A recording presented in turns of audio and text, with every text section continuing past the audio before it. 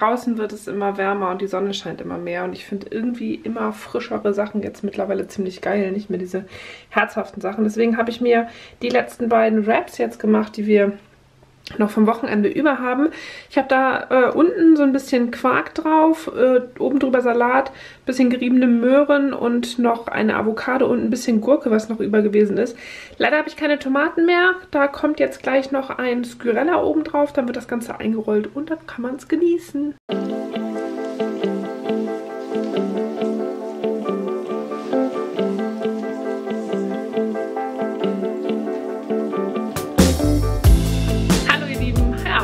wieder Montag. Ich hoffe, ihr habt ein wundervolles Wochenende gehabt. Meins war eigentlich ganz angenehm. Ich kann mich nicht beklagen. Das Wetter hier ist ja momentan wirklich mega schön. Und ähm, wir waren draußen am Wochenende und haben noch ein paar Fotos gemacht für ähm, mein, meine Schnittmuster. Unter anderem halt den Pullover hier noch fotografiert und ja, das war eigentlich so mehr oder weniger unser Wochenende. So ein bisschen die Sonne genießen, ein bisschen draußen gewesen. Ähm, nichts Dolles, nichts Aufregendes eigentlich. Ähm, ja, ich habe mir gerade eben Wraps gemacht und musste dann nach einem feststellen, das ist mega schwer, viel und viel zu doll. Deswegen habe ich den anderen gerade eben noch schnell in Frischhaltefolie eingepackt und hoffe, dass der sich im Kühlschrank bis ähm, heute Abend oder morgen Mittag irgendwie hält. Ähm, und ich das eben nicht wegschmeißen muss. Das wäre natürlich ganz klasse, wenn das funktionieren könnte. Da, ähm, da da Soße drin ist, also ist ein bisschen Quark ja drin und so eine Burgersoße, die noch aufgebraucht werden muss, die da noch im Kühlschrank war. Ähm, ja, habe ich so ein bisschen Bedenken und Angst, dass das eben nicht funktionieren könnte. Aber schauen wir mal, wie das so ist. Ich ähm, sitze jetzt noch dran und muss Sachen für die Arbeit fertig machen. Und heute Abend habe ich einen Kurs, da muss ich heute Abend auch noch hin. Ähm, der geht von 18 bis 22 Uhr. Mhm, genau, das ist heute so mein Tag, den ich haben werde.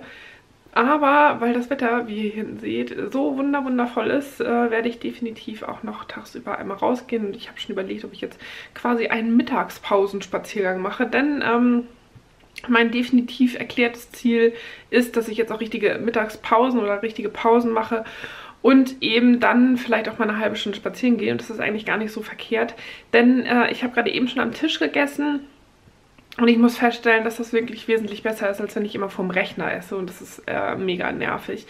Ähm, genauso wie ich meinen Social-Media-Konsum ein bisschen einschränken muss. Äh, klar brauche ich das alles zum Arbeiten, aber ich muss halt auch arbeiten und äh, mich nicht nur auf irgendwelchen Social-Media-Kanälen rumtreiben.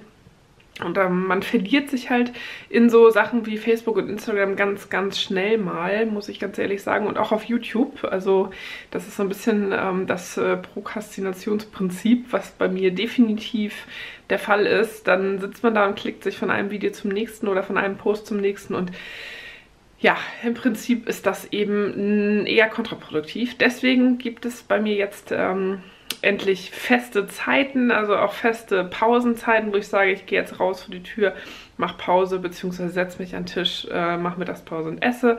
Und esse nicht mehr nebenbei, weil das ist eigentlich, glaube ich, das Schlimmste, was man irgendwie machen kann. Und in dem Sinne, denke ich, werde ich mich jetzt mal... Ähm, äh, vernünftig anziehen. Ich habe nämlich äh, Jogginghose an äh, und werde mir mal eine Jeanshose anziehen und dann geht es ein bisschen raus an die frische Luft, ein bisschen Sonne tanken und ähm, ja, frische Luft schnuppern, denn das kann ja für den produktiven Tagesablauf des restlichen Tages nicht unbedingt verkehren.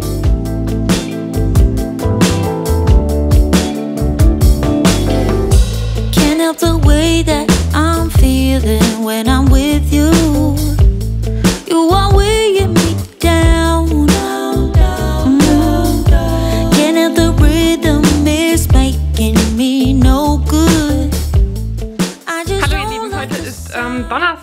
Eigentlich wollte ich heute Morgen ganz früh mit euch zusammen nach Luzern fahren zum Urknall und ähm, das alles mal anschauen, weil ich das selber alles noch nicht gesehen habe und das bestimmt megamäßig interessant ist und ähm, tierisch viel Spaß macht. Leider ist daraus irgendwie bisher nichts geworden. Ich bin noch zu Hause und ich werde auch nicht mehr großartig wegfahren. Gegebenenfalls werde ich nochmal nach Hochdorf fahren und den Wagen von meinem Freund abholen, weil der ja zur Fastnacht muss. Ähm, der ist ja in der Gogo-Musik, gespielt da Trompete und dem bleibt quasi nichts anderes übrig, als zur Fastnacht zu gehen. Ich habe das heute Morgen abgebrochen, nachdem ich die Nacht wieder megamäßig schlecht geschlafen habe. Ich bin um 1 Uhr wach geworden und konnte dann nicht mehr einschlafen. Zudem kommt, dass ich seit Dezember immer wieder Blasenentzündung habe und das irgendwie nicht so richtig weggehen will. Und ich habe keine Ahnung, warum und was jetzt da großartig das Problem ist.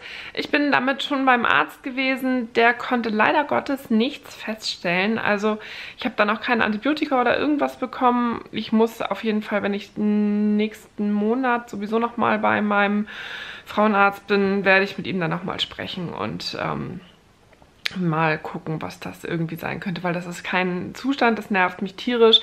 Es ist irgendwie ähm, fängt das dann irgendwann nachmittags an und ähm, fühlt sich halt wie Blasenentzündung an, aber geht nicht so richtig weg. Und ähm, wenn ich mich dann mit Wärmflasche und Tee auf die Couch setze, dann geht es irgendwann wieder und dann kann ich eigentlich auch schlafen. Aber ähm, in der Regel geht es nächsten Tag dann wieder los und ich sitze dann abends wieder da und kann eigentlich gar nicht so richtig was machen und das nervt mich megamäßig. Ähm, dann kommt halt dazu, dass ich im Moment extrem schlecht schlafe. Ich wache alle drei Stunden auf und bin halt wach und ähm, habe teilweise dann Tage, jetzt gestern oder letzte Nacht halt um 1 Uhr wach gewesen, konnte nicht mehr richtig einschlafen. Bin dann mit meinem Freund zusammen um 3 Uhr aufgestanden, habe mich dann aber nochmal irgendwie um 5 Uhr hingelegt und nochmal ein bisschen geschlafen bis 8 Uhr.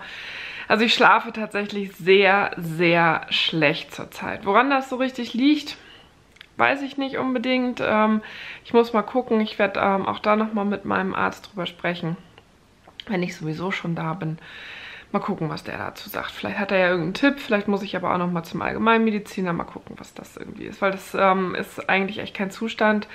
Man ist den ganzen Tag über irgendwie so ein bisschen gerädert und kaputt und müde. Und ähm, ja, das funktioniert irgendwie alles nicht so, wie ich mir das vorstelle. Das muss auf jeden Fall ein bisschen besser werden. Nichtsdestotrotz versuche ich meinen Rhythmus so ein bisschen beizubehalten, dass ich mich morgens trotzdem fertig mache. Ähm, und schminke, um so ein bisschen normalen Tagesablauf zu haben, was mir im Moment auch so ein bisschen schwer fällt, muss ich ganz ehrlich sagen, weil das gar nicht so einfach ist, sich einen normalen Tagesablauf ähm, in der Selbstständigkeit zu geben. Ich versuche halt dadurch, dass ich nachts so schlecht schlafe, den Schlaf ähm, auch morgens nachzuholen, tagsüber mich mal hinzulegen, was dann natürlich für einen normalen Tagesablauf entsprechend kontraproduktiv ist und ähm, ja, keine Ahnung. Aber ähm, genug rumgejammert. Ich ähm, bin mit dem Arbeiten im Prinzip sehr, sehr gut davor. Ich habe äh, gerade eben schon Fotos bekommen von dem Kostüm, das ich genäht habe und ich bin eigentlich ganz zufrieden damit. Es sieht eigentlich sehr gut aus. Ähm, wenn ich da vergleichsweise andere Kostüme sehe, die genäht worden sind, die nicht unbedingt günstig gewesen sind, ähm, denke ich schon, dass ich da einen ganz guten Job gemacht habe. Ähm, und da kann man doch auch mal ein bisschen stolz auf sich sein. Das sollte man sowieso ab und zu mal, ab und zu mal ein bisschen stolz auf sich sein, auf das, was man getan hat. Das bin ich auch viel zu selten. Ich bin auch sehr, sehr selbstkritisch und ähm, eher so, nee, ist nicht so gut gewesen, gefällt mir nicht. Äh, eher so der Meckertyp, als dass ich ähm, da mal ein bisschen stolz auf mich bin. Ja, ähm, ansonsten werde ich versuchen, heute mal ein bisschen rauszugehen. Wie ihr seht, ähm, es scheint die Sonne extrem draußen. Die letzten Tage waren sehr schön. Am Samstag soll es nicht so schön werden. Samstagnachmittag muss ich arbeiten, da habe ich einen Kurs, den ich gebe. Und ähm, deswegen werde ich die Woche jetzt auf jeden Fall auch nutzen, um spazieren zu gehen. Ich bin in der Mittagspause halt ganz gerne draußen unterwegs um ein bisschen äh, frische Luft und Sonne zu haschen, denn Vitamin D ist ja auch ähm, nicht unbedingt unwichtig und gerade in den letzten Wintermonaten und in meinen letzten Tagesarbeitszeiten, whatever, habe ich nicht wirklich viel Zeit draußen verbracht und deswegen sollte ich heute auf jeden Fall nochmal nach draußen gehen. Einkaufen muss ich auch und naja, gegebenenfalls muss ich den Wagen von meinem Freund noch abholen damit er eben nicht das ganze Wochenende im Hochdorf steht und dann kann ich das mit dem Einkaufen eigentlich auch gleich verbinden. Ich werde da wahrscheinlich mit dem Zug hinfahren müssen. Schauen wir mal, ich werde gleich nochmal mit ihm sprechen, mal gucken, was er sagt, ob der Wagen da noch stehen bleiben kann oder nicht. Mhm. Aber grundsätzlich kann ich den ganz gut gebrauchen zum Einkaufen. Da muss ich den ganzen Scheiß nicht schleppen, obwohl das mit dem Fahrrad eigentlich bei dem Wetter auch eine schöne Sache wäre. Hm, ich muss mal gucken, was ich da so mache. Ja, ansonsten steht an ein paar Videos schneiden ein paar Videos aufnehmen, noch ein bisschen weiter arbeiten an ähm, neuen Schnittmustern und Anleitungen, die geschrieben werden müssen.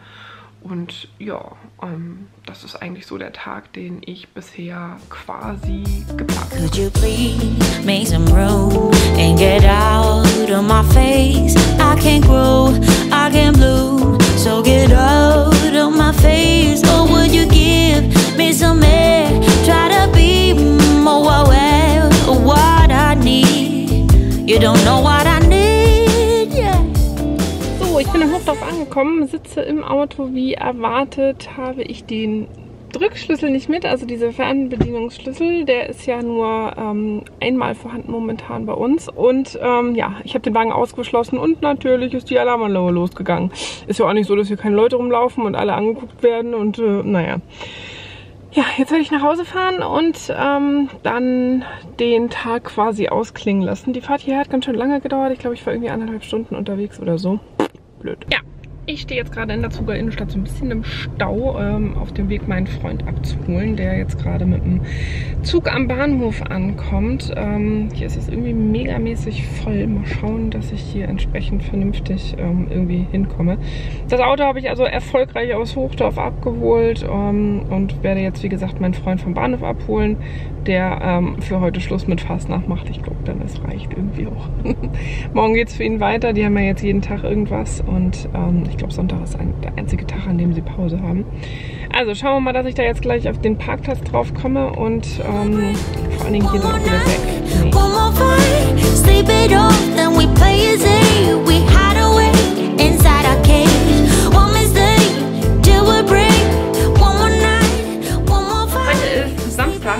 bin mal wieder spät dran und auf dem Sprung. Ich habe heute einen Kurs im Laden bei Silvia.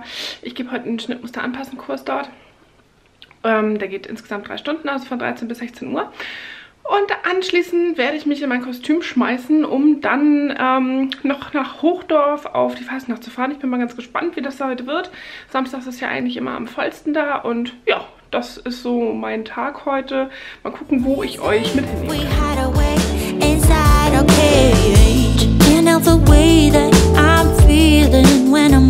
You. You are weighing me down. Can't have the rhythm is making me no good. And I don't like the sound. Could you please make some room And get out